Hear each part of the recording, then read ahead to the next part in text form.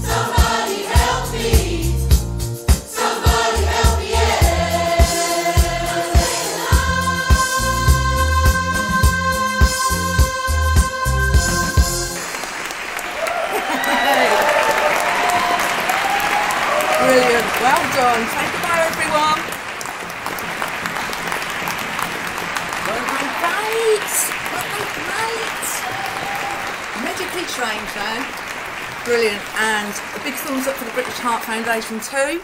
And we'll see you all soon. Who knows where, but we'll see you all soon. Thanks again, everybody. Thanks for supporting us so far. See you soon.